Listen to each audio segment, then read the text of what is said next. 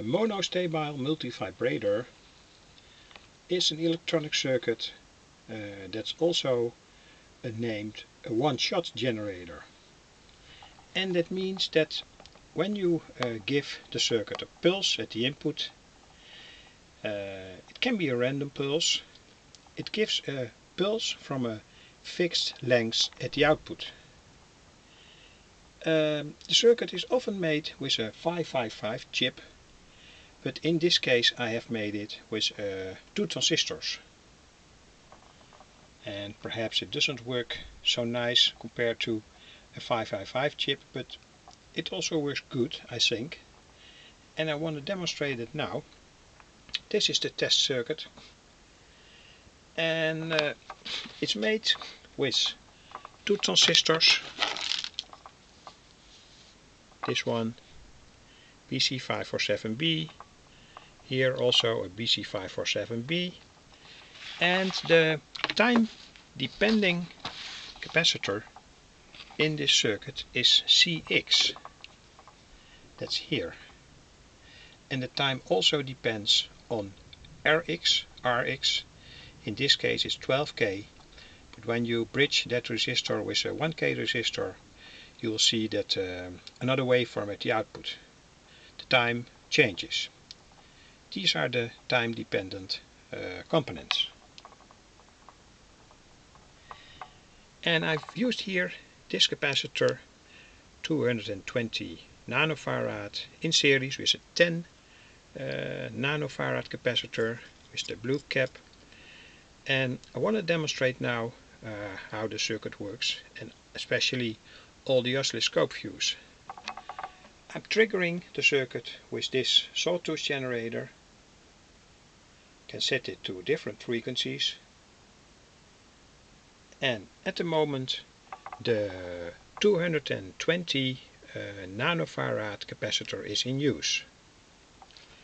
And I'm triggering it at the moment with approximately 11 hertz or so, or 50 hertz somewhere here in this range 11 hertz 17 hertz and here you can see the output at the monostable multivibrator.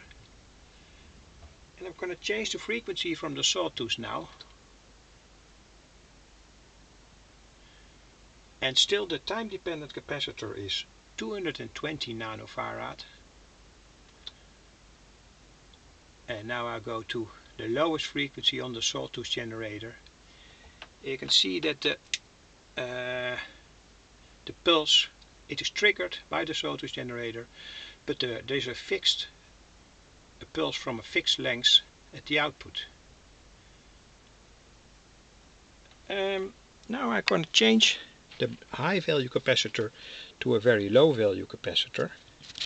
So now the 10 nanofarad capacitor is in use and then we see another figure on the screen hope uh, the peak will come. You can see it.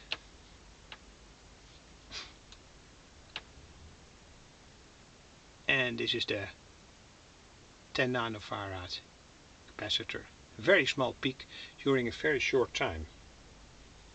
And you can set the uh, ratio uh, from the pulse by means of this potentiometer. So when I change the value from that potentiometer, the pulse from the very small pulse even gets thinner. I'm gonna do that now.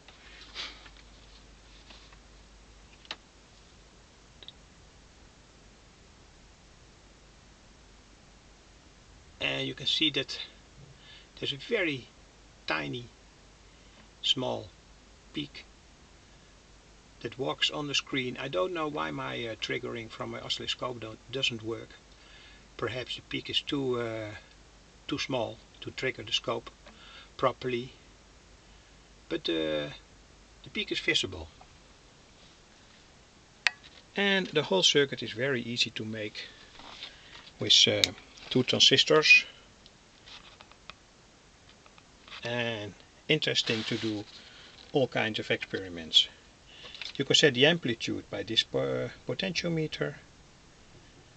Um, And that's in fact all that is to tell about this uh, electronic circuit.